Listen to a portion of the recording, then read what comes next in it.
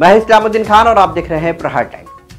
मुमरा में आज सुबह सुबह ही पीएफआई के दो सदस्यों को गिरफ़्तार किया गया था। आपको बता दें, गिरफ़्तार किए गए जो पीएफआई के सदस्य हैं, मतीन शेखानी और दाऊद शेख, इन दोनों लोगों को आज थाने कोर्ट में पेश किया गया था, जहाँ कोर्ट ने इन्हें छोड़ने का आदेश दिया। आपको बता दें कि पुलिस के मुताबिक दोनों पीएफआई के सदस्यों पर आंदोलन और सड़क पर चक्का जाम करने और अन्य वारदातों को अंजाम देने की कोशिश करने वाले थे, ऐसा पुलिस का कहना है। मगर कोर्ट में सुनवाई के दौरान दोनों तरफ़ के वकीलों की दलील सुनने के बाद थाने कोर्ट ने मतीन शेखानी और दाऊद शेख को भविष्य में किसी भी प्रकार की कानून व्यवस्था ना खराब हो, ऐसा अंडरटेकिंग लेते हुए उन्हें छोड़ने का आदेश दिया है। आपको बता दें कि पीएफआई के दोनों सदस्यों के बचाव पक्ष के एडवोकेट अब्दुल जब्बार मोमिन ने इस पूरे मामले में क्या जानकारी दी है? आपको सुनाते हैं। जब्बार है। सर आज कोर्ट में क्या प्रोसीडिंग हुई और क्या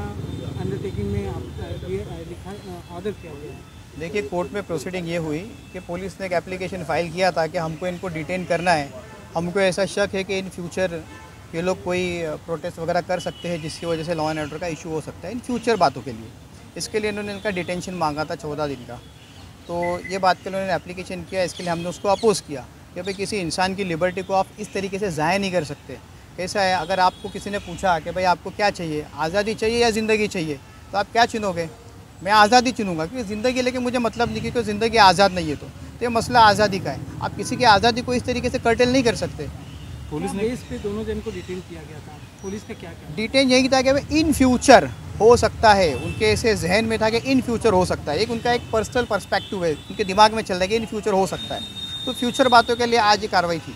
इसके कोविड में भी उन्होंने आंदोलन किया था उनके ऊपर केसेस दाखिल लेकिन पुलिस ने उन्हें हिरासत में पीएफआई के सदस्य होने का ऐसा करके चार बजे रात को ही उठाया था ना। देखिए पीएफआई के सदस्य बोलना और उसको प्रूफ करना एक अलग मसला है। और जहाँ तक पीएफआई का सवाल है तो पीएफआई अभी तक बैन ऑर्गेनाइजेशन नहीं है। या उसको सेंट्रल गवर्नमेंट ने बैन नहीं किया है। तो ये कोई ऑफेंस नहीं है। लेकिन उन्हें पीएफआई के सदस्य समझ के ही उठाया गया था। क्या लगता है पुलिस उन्हें सदस्य समझ के नहीं उठाया गया। पुलिस के दिमाग में ऐसा शक था कि आगे जाके सारी चीज़ें हो सकती थी इसलिए उठाया गया उनको।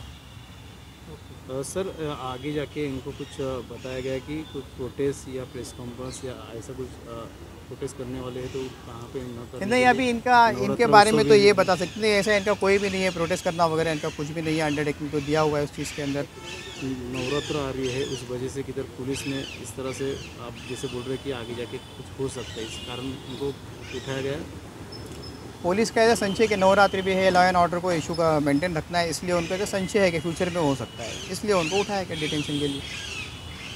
स्टाम्प पेपर में उन्होंने लिख के दिया है क्या लिख, बातें लिखी गई और कितने का स्टाम्प पेपर कोर्ट में अंडरटेकिंग दिया है स्टाम्प पेपर की ज़रूरत नहीं होती मैजिस्ट्रेट के सामने अंडरटेकिंग दिया जाता है।